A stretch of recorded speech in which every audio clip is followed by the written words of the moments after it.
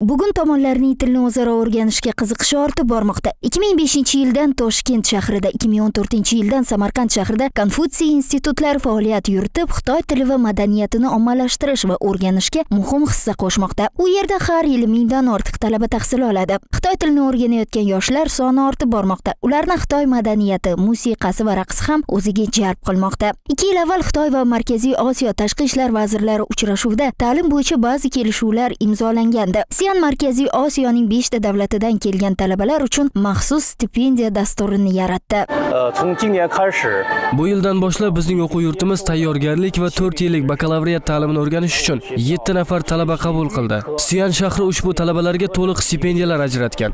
Har bir talaba uchun yiliga taxminan 62 ming yuan miqdorida grantlar beriladi. Maktabimiz shanxay viloyatida markaziy osiyo ikkita o'quv yurtlaridan biri hisoblanib bizda markaziy osiyo bo'limi kafedrasi mavjud. Ushbu bo'lib markaziy osiyoning 5 ta davlatidan xalqaro talabalarni jalb qilishga ixtisoslashgan. O'qitish jarayonida biz markaziy osiyolik talabalarni juda quvnoq xarakterga ega ekanligini va o'z fikrlarini teran ochiq oydin ishonch bilan ifoda etishlarini kuzatganmiz. O'z navbatida 2010 yildan boshlab xitoy xalq respublikasi markaziy millatlar universitetida o'zbek tili kafedrasi faoliyat yurita boshladi. 2018 yilda esa shanxay xalqaro tadqiqotlar universitetida o'zbek tili mutaxassisligi bo'yicha bakalavriat yo'nalishi ochildi. O'zbek tili va madaniyati markazi tashkil etildi. Bu imkoniyatlar bilan xitoy hukumati 5 ta markaziy osiyo mamlakatlaridagi xitoy tilini o'rganadigan yoshlar uchun juda katta yordam taqdim etadi. Umida olimova asrbek olimov dilshod soatov hudud informatsion dasturi uchun.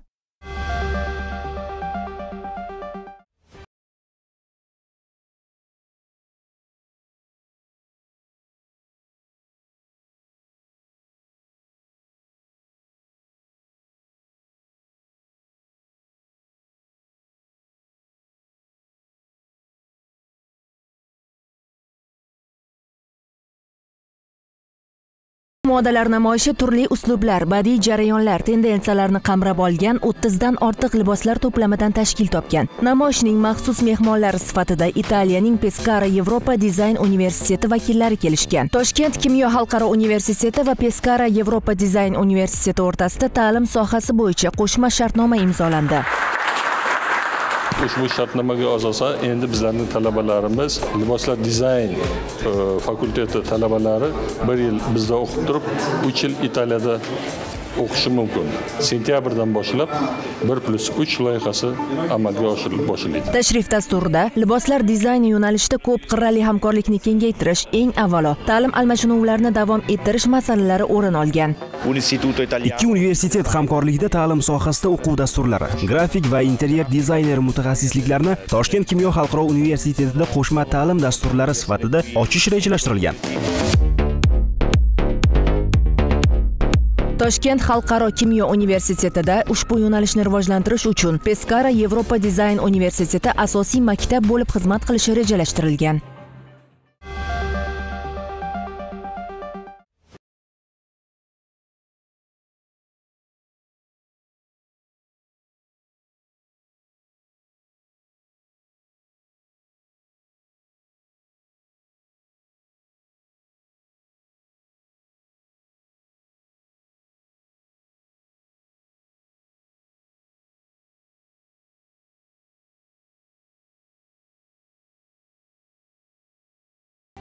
Seminar treningda o'zbekiston respublikasi prezidenti saylovini tashkil etish va o'tkazishning konstitutsiyaviy huquqiy asoslari saylovchilar ro'yxatini shakllantirish va ushbu ro'yxatlar bilan ishlashda okrug saylov komissiyalari oldida turgan vazifalar ovoz berish kuniga tayyorgarlik okrug saylov komissiyasining saylov jarayoni ishtirokchilari bilan hamkorligi moliyalashtirish tartibi saylov okrugi bo'yicha ovoz berish yakunlarini aniqlash kabi mavzular muhokama etildi o'quv jarayonida mana shu qirq ikki nafar har bir hududdan okrug raisi okrug raisi o'rinbosari va e, mas'ul kotiblar kelib mana shu joyda mana shu saylovga tayyorgarlik ko'rish va uni o'tkazish bilan bog'liq bo'lgan masalalar bo'yicha bevosita biz ma'ruzalar tinglamoqdamiz. Ma'lumki joriy yilning 30 aprelida bo'lib o'tgan referendumda bir nechta referendum uchastkalarida saylov komissiyasi a'zolari tomonidan byulletenlarni soxtalashtirish holatlari kuzatildi va markaziy saylov komissiyasi tomonidan mazkur uchastkalardagi ovozlar soni haqiqiy emas deb topildi. Xo'sh bundan xulosa chiqargan holda endilikda bo'ladigan saylovda mazkur holatlarni oldini olish uchun choralar ko'rilmoqdami? Albatta afsuski shunday holat bo'ldi va kelgusida biz buni inobatga olamiz. Mana oldimizda o'quv seminar treninglari turibdi. Raislari rais o'rinbosarlari uchastka raislari rais o'rinbosarlari va a'zolarini o'quv jarayonida ularga tegishli tavsiyalar beriladi. Bir so'z bilan aytganda o'quv mashg'ulotlarining maqsadi saylov o'tkazuvchi okrug komissiyalari a'zolarining saylov jarayonlarini umumiy e'tirof etilgan xalqaro saylov standartlariga rioya etgan holda saylov kodeksi talablari asosida uyushqoqlik bilan tashkil etishdagi ko'nikmalarini oshirishdan iborat. Endi esa yurtimiz hayotiga oid ayrim xabarlarning qisqacha sharhi bilan tanishing. Lochin bolalarni sog'lomlashtirish oromgohida o'tkazilayotgan O'zbekiston sardorlarining 22 anjumani doirasida hududlardan kelgan sardorlar uchun o'quv seminarlari tashkil qilinmoqda. Shuningdek, mashg'ulotlar guruhlarga bo'lingan holda olib borilib, ularda sardorlikning ustuvor va asosiy yo'nalishlari, bolalar o'rtasida axborot almashuvidagi zamonaviy tendensiyalar va qarama-qarshiliklar, bolalar huquqlari bilan bog'liq vaziyatni tahlil qilish va ularni himoyalash bo'yicha samarali strategiya ishlab chiqish, sardorlarda diplomatik etika va taqdimot qilish ko'nikmalari va boshqa dolzarb mavzular bo'yicha ishtirokchilarga ko'nikmalar berilmoqda.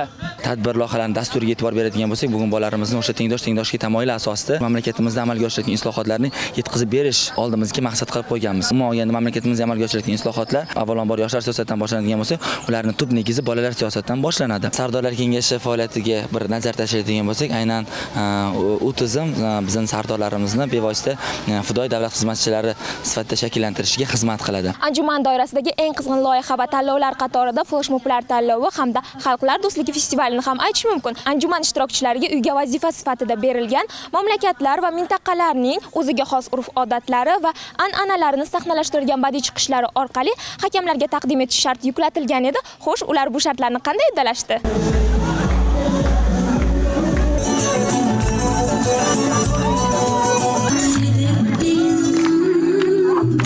Bir so'z bilan aytganda anjuman sardorlar o'rtasida jamoa bo'lib ishlash ko'nikmalarini rivojlantirib ular o'rtasida do'stona muhitni yaratmoqda. G'olib Amirov Jamol Nazarov Shahnoza Qalandarova hudud informatsion dasturi uchun Qashqadaryodan maxsus. Kuni kecha san'at va madaniyat institutida xalqaro turkiy madaniyat tashkiloti turksoy tashabbusi bilan ilk marotaba o'tkazilayotgan turk dunyosi talabalar teatr festivaliga start berildi. Festivalda san'at ixlosmandlari kinoijodkorlar shuningdek qirg'iziston qozog'iston turkmaniston ozarbayjon va turkiya respublikalaridan kelgan talaba yoshlar teatr guruhlari ishtirok etdi. Tadbir yakunida madaniyat va san'at instituti rahbariyati tomonidan vazir ozodbek nazarbekov hamda qirg'iziston madaniyat vaziri raif sultan akimovich professor unvoni bilan taqdirlandi. Akтерский fakultetga topshirganman rol akterskiy fakultetga topshirib mana e, komissiyani mushaalari etti. Sizde bo'yingiz var ekan fakturangiz var ekan turib talantingiz yo'q eslatib o'tamiz turk dunyosi talabalar teatri festivali 26 mayga qadar davom etadi. Dildora hakimova dilshod soatov sevinch akmalova hudud informatsion dasturi uchun. 2023 yilning 10 may kuni soat 20 yu 20 larda Toshkent viloyati ichki ishlar bosh boshqarmasi 102 xizmatiga VAZ 21013 rusumli avtoulovni eshiklarini yopmasdan kalitini ham o'zida qoldirgan fuqaro qaytib chiqqanida avtomobili joyida yo'qligini ma'lum qilgan. Xuddi shunday holat 12 may kuni Quyichirchiq tumanida ham sodir bo'lgan. Sergeli mahallasi hududida joylashgan dala maydonida turgan fuqaro o'ziga tegishli bo'lgan Nexia avtomashinasini noma'lum tomonga olib qochib ketilganligini ma'lum qilgan. Bu ikki holat o'rtasida o'zaro bog'liqlik mavjud mavjudligi bo'yicha dastlabki xulosalar olinib tezkor qidiruv tadbirlari jadallashtirildi. Quychirchiq tumani ichki ishlar bo'limi tezkor xodimlari tomonidan o'tkazilgan tadbirlar davomida nexia avtomashinasini 1991 yilda toshkent shahrida tug'ilgan. Parkent tumani mustaqillik ko'chasi 42 uyda ro'yxatga olingan fuqaroligi bo'lmagan shaxs olib qochganligi aniqlanib daliliy ashyolar bilan ushlangan. Olib borilgan surishtiruv ishlari davomida ushbu shaxs joriy yilning 10 may kuni nurafshon shahrida vaz 21013 rusumli avtomashinani ham olib qochib ketganligi ma'lum bo'ldi. Hozirda holat yuzasidan jinoyat ishi qo'zg'atilib gumonlanuvchining boshqa jinoyatlarga aloqadorligini tekshirish maqsadida qo'shimcha surishtiruv ishlari olib borilmoqda. Bu hozirgacha olingan va sizlarga yetkazmoqchi bo'lgan so'nggi xabarlarimiz